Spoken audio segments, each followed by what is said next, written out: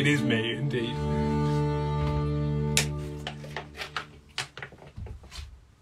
I don't know. Beyonce, probably.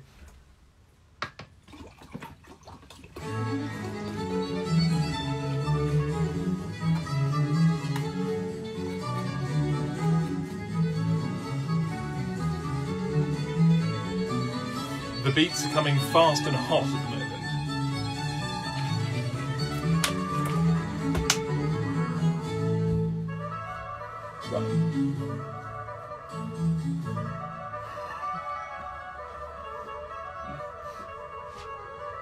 It's um, Acis and Galatea by Handel. It's on the Suites and Symphonies of a Solitary Wanderer. Where am I going to put my water?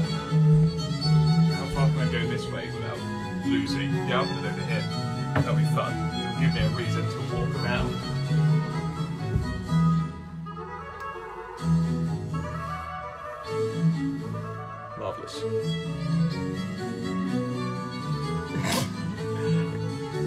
Think you have to watch Sam's seminar. Right, I think I'm going to get started anyway because I want to get this done within about half an hour. Um, right, no more Handel. So, welcome to Sam's seminar. Uh, this is the third of my Sam's seminar um, sessions. Um, this is going to look at Plato, Confucius, and the axial age. Um, the axial age being the historiographical term that is used to define the axial, the, the time at which thinking in in the ancient world changed. So um, this was uh, content that I learnt while studying my masters in St Andrews uh, under the supervision of um, Dr. Rory Cox, who is both a medievalist and a classicist. Um, so the works that have been used to put this together are Plato's Crito, um, Plato's Republic, Book One, Confucius's Analects, um, the U.S. China edition, uh, John Locke's Two Treatises of Government, Thomas Hobbes' Leviathan. Um, these are kind of ones that are referenced, but they're not pivotal because this is specifically on ancient scholars. But they're, if you're interested, they're things that are referenced in Kant's groundwork of the metaphysics of morals. Um, so those are the kind of core texts that we're going to be looking at, but mainly the Crito, the Republic Book One, and the Analects by Confucius. So, um, in this seminar, week three of the seminars that I've done, um, we're delving into the realm of a highly protective discipline, um, which is the classics, the, uh, the classicists. And um, we're tasked here with looking at a few different classicists, um, but specifically, I've picked Plato um, from the ancient Greek world, and I've picked Confucius from ancient China because they give us a good reference point for what we will then move on to, which is this term in historiography, the axial age. Okay? So we'll come to that in the second part, but first of all, we'll have a look at the texts themselves. So the Crito, um, the edition I was looking at was the 1969 edition in the last days of Socrates. Um, and in the Crito, Plato outlines a form of proto contract theory, um, suggesting that individuals within a polity have a responsibility for one another stemming from the implicit consent given through their upbringing and participation within society. So, what we what we see in the Crito is this very early version of what will become in the Age of Enlightenment social contract theory. Um, so this is shown when Plato writes, "Did we not give you life in the first place?" Implying that through the nurturing of the polity, bringing kids up, um, giving them an education, allowing them to live even. I mean, that's just a very basic right, obviously. Um, this means that there's an implicit consent for you to have responsibility um, within the society that has brought you up.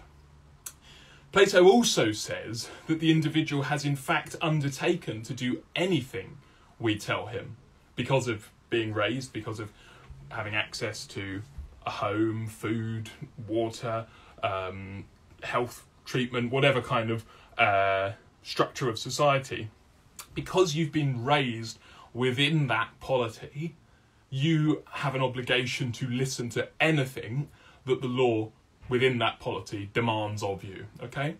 Um, so this foreshadows John Locke's idea of tacit consent.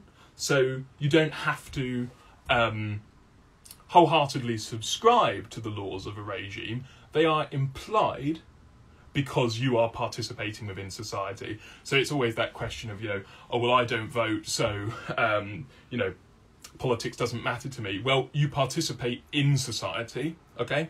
Um, so therefore, you tacitly consent to everything that this, that that polity enacts in terms of laws, in terms of its social mores, in terms of everything about how a society operates. You're implicitly, tacitly subscribing to. So this is something that is seen in Plato's Crito and foreshadows what John Locke says. The, the Crito holds a strong contractarian perspective. So the contractarianism differs from what's called contractualism. A contractarian perspective of social contract theory, of social responsibility to one another within a polity, um, is a form of social contract theory that grounds morality in the state and its laws, resembling Hobbes's belief in the state's power to save us from chaos in the state of nature.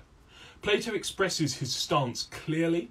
Do you imagine that a city can continue to exist if legal judgments have no force but are nullified and destroyed by private persons?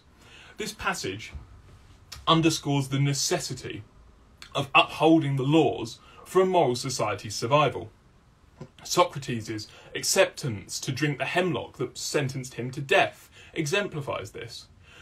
Socrates, of course, was offered a chance to escape uh, from the society, but he drinks the hemlock anyway because he was raised within that specific state and he accepts that having been raised by it, he must also abide by the laws which are acted upon him, which embodies the ultimate contractarian principle that one must live and die by the laws of the society to which they owe their life. So that's contractarianism. That's contractarianism within the Crito. So turning to book one of the Republic, the copy that I was using for um, my research when I was doing this uh, was the 1955 Penguin Classics edition, and in Book One of the Republic, Plato sets up a fundamental contrast between the rational and the irrational, where the passions represent the latter, leading individuals away from living an ethical life. The ethical person, Plato argues, has escaped from the madness and slavery of the passions, so he's very much against desire, um, you know, all those kind of yeah desires, lusts, um, all those kind of emotions that could lead one astray from what he sees as the rational path. Okay, um, achieving an ethical life for Plato requires a steadfast character that seeks truth beyond the material world. Plato contends that wealth and material gain can never satisfy the soul as a bad man won't be contented even if he's rich. So that's a, a great passage from the Republic, Book 1. This leads Plato to interrogate the nature of justice. He rejects the idea that justice is merely acting immorally for moral purposes, as it would be akin to stealing, though done to help a friend or harm an enemy. Justice cannot simply be about punishment or retribution, a notion Plato critiques because it implies that moral peoples would act immorally to correct the immoral, an absurdity that Kant later addresses in the Enlightenment. That's why I put the groundwork of the metaphysics of morals in the reading list that will be in the caption of this video when it's published. Um, so you can't say, oh, well, what if everyone um, you know, would commit immoral acts to um, correct a wrong that's already been done. Well, that's just a never-ending cycle. Um, so Plato, through the character of Thrasymachus in Book One, of the Republic, presents a very cynical view. He suggests that justice is simply the interest of the stronger party. This is a very famous uh, excerpt from Republic Book One about the idea that justice is just the power of the stronger, and it's just a way of expressing the power that the stronger party has, whether that's a political party that's won power and wants to exert its opinion. Like it's this very kind of oh to hell with politics sort of opinion. But if this is true, this implies that justice or right is what is in the interests of only ever the stronger party with democratic laws favouring democracy and tyrannical laws favouring tyranny. However, Plato disputes this as the true path of justice. He's a you know, a master of any craft, like a ship's captain, serves the interests of those who are under their command, not their own. You wouldn't treat your crew badly if you're sailing in rough seas to get across the water, so it doesn't make sense that the idea that justice can only ever be the interest of the stronger party because sometimes the lower parties are the very essence of the state in, in this analogy that the sailors sailing through rough water need to be treated well because they're the ones who are going to get you to safety so justice can't always be the solely the interest of the stronger party so therefore the just man is knowledgeable and good while the unjust is ignorant and bad. Justice, Plato concludes, is essential for a functioning society, as it fosters unity both within the individual and the state. Without it, division ensues, rendering the individual and society incapable of effective action. Justice allows the mind to function well, as it is the virtue of the mind. Therefore, a just life leads to prosperity and happiness, making justice inherently more rewarding than injustice. I'm going to take a quick pause and have a glass of water.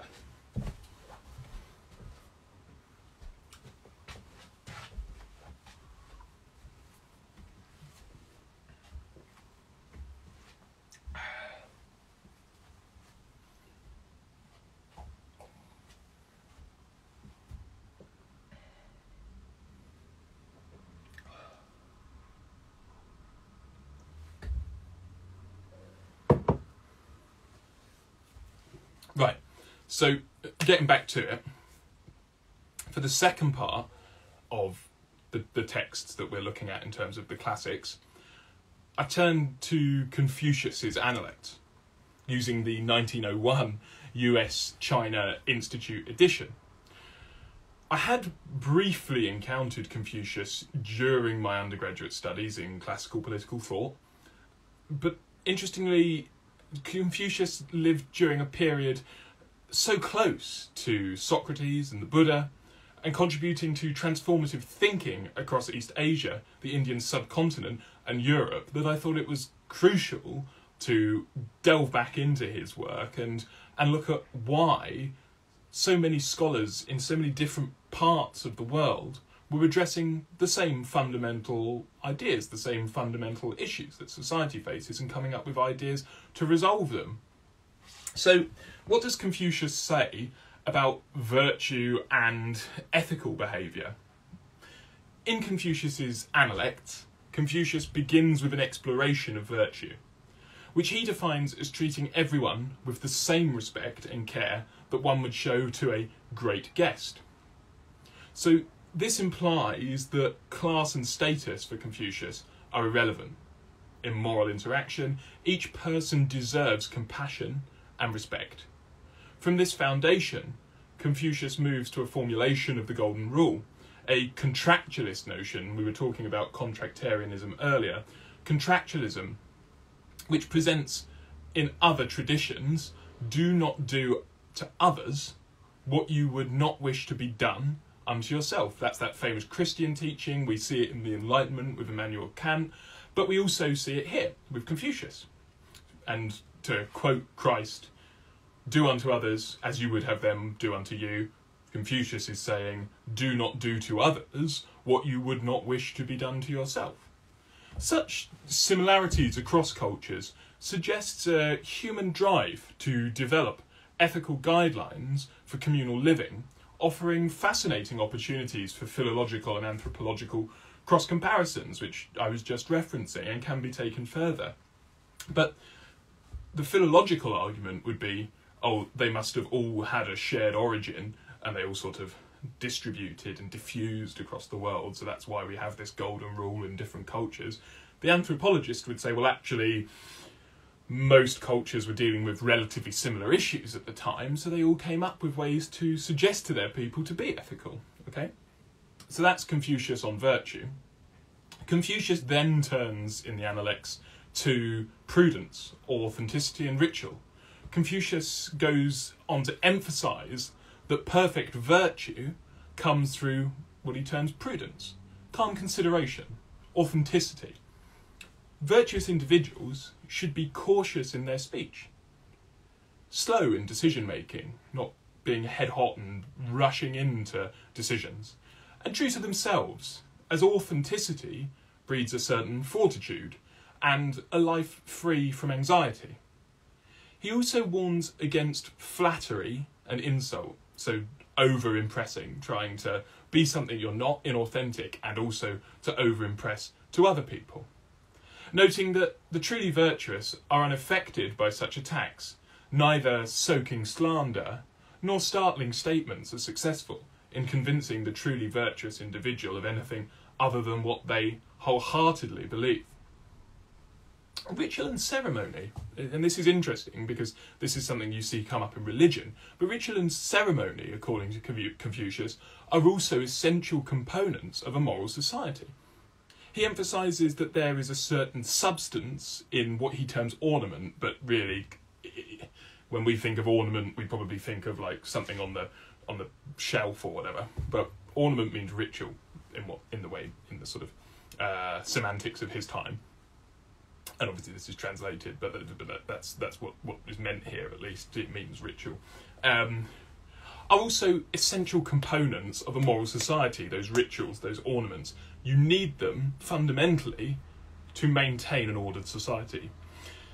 And this is because the rituals bind a community together. They're not merely decorative, but contain intrinsic value. So these communal acts, rituals, ornaments, serve as the substance that binds society and creates social cohesion.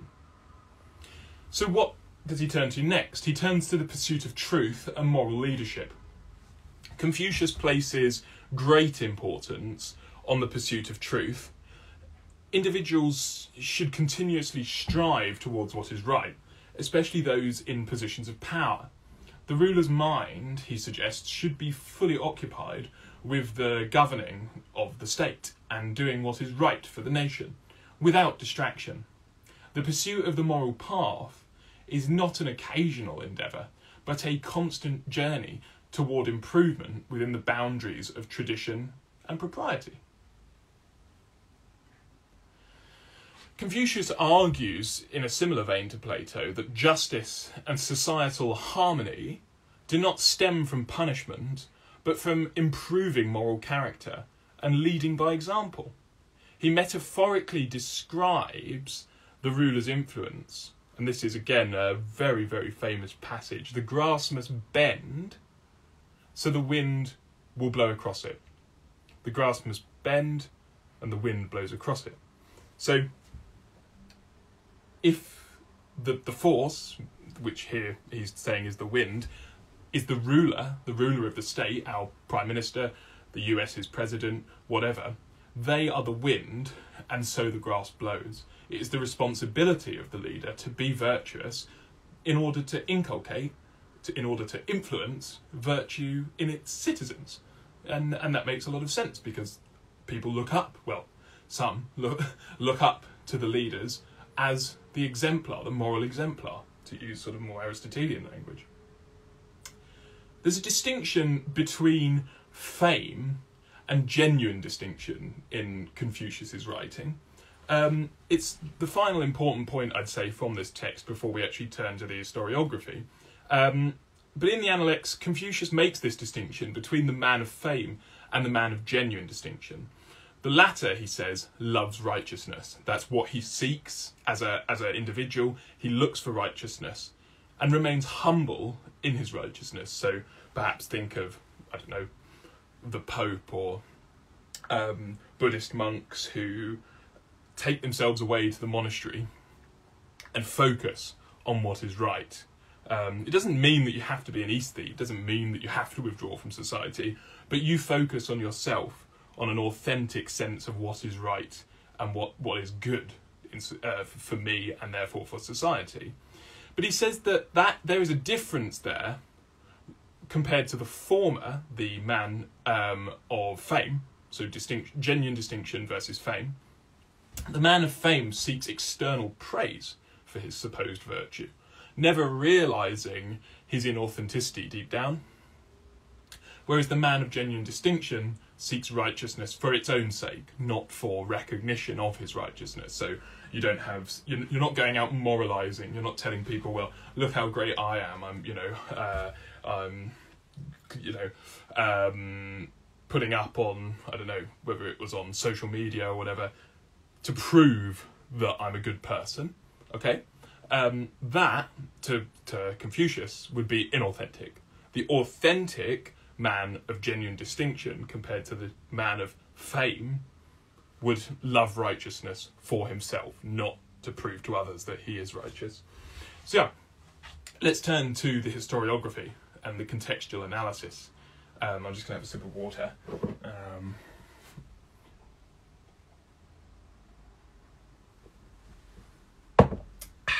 right.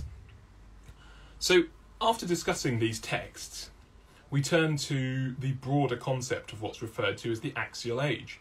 This was a term coined by Karl Jaspers in the 1940s, and his text is in the reading list that I've compiled. Um, it was influenced by uh, Hegel, um, and Jaspers proposed that between the 8th and 3rd centuries BCE, because of course it was going backwards in terms of the, in terms of the dates, um, there was a widespread philosophical and religious transformation across various regions of the world, including the Greco Roman world, Persia, and China. This excluded Africa, the Americas, and Oceania. While the idea of a synchronized global intellectual shift is fragile, it is clear that similar ideas were emerging independently across cultures without direct contact. Plato and Confucius, as we've seen, two key figures um, in the readings that I've just gone through, are often listed as part of this so called axial age. However, the pre axial age was characterized by an intertwining of the transcendent and the mundane, as, um, as it's put. Uh, for example, kings and oracles often claim divine legitimacy, blurring the lines between the physical and metaphysical.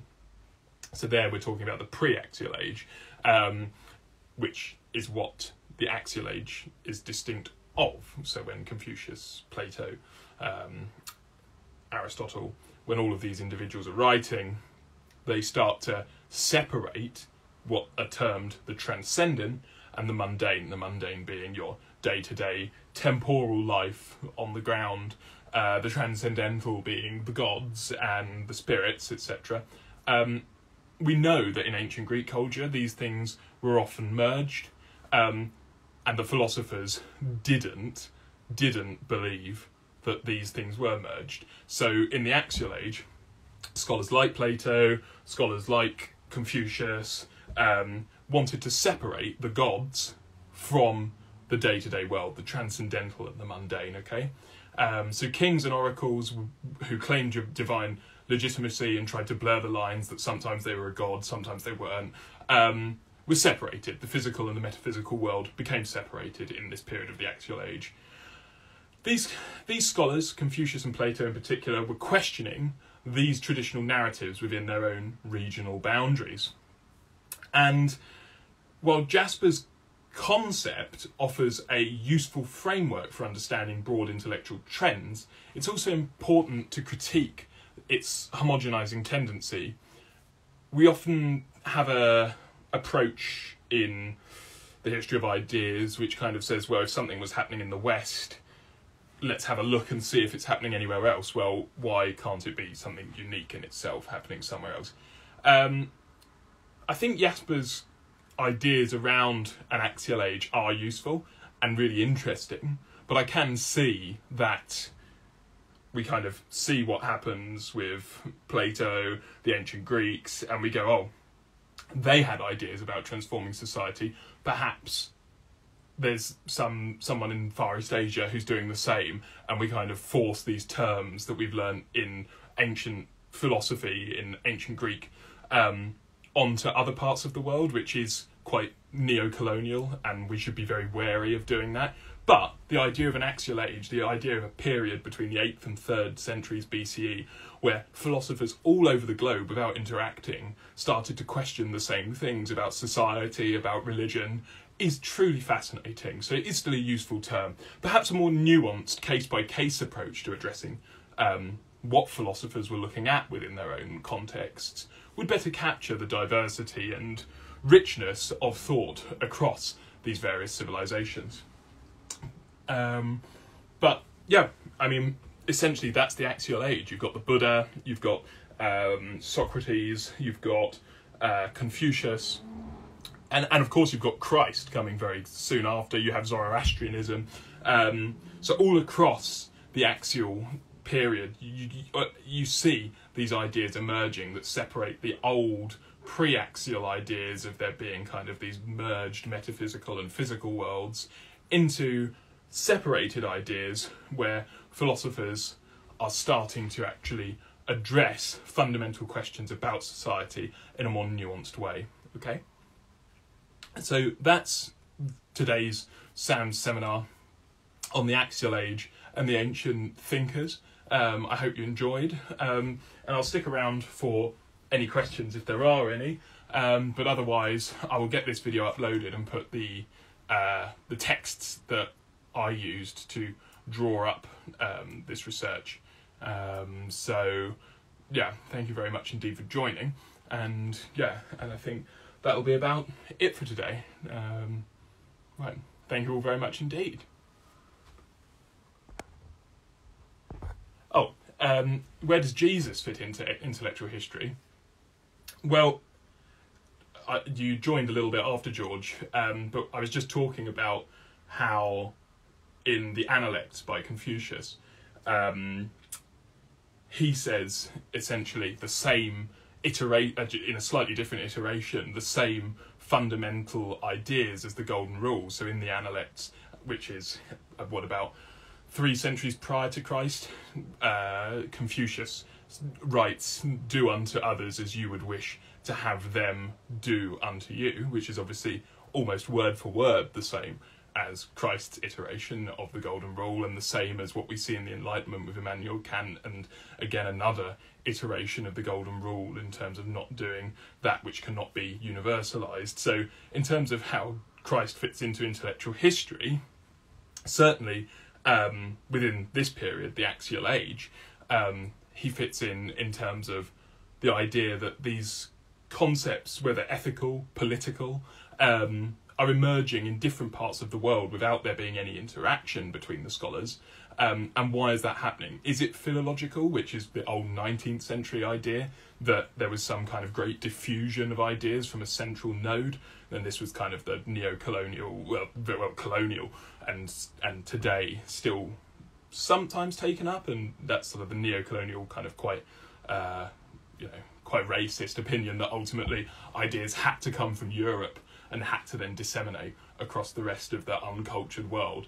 Um, so, in terms of in intellectual history, um, Christ fits in within exactly this um, period, um, but as an example of a, a, thinker, a writer who is developing ideas about society and obviously about religion, but specifically when we're looking at kind of like the political elements of it, thinking about how to create an ethical society and how to yeah, structure the polity, which is the same question that um, Confucius is looking at, uh, Buddha is looking at it, Socrates was looking at it earlier. But yeah, if you, uh, when I finish this, um, I'll publish this video, and you'll see the elements that are shared between yeah things like Christ, some of Plato's reporting of the last days of Socrates, and Confucius's Analects. So yeah, I hope that was interesting, and yeah, anyone who has missed anything can go back and watch this after I have published it shortly. Right, cheerio.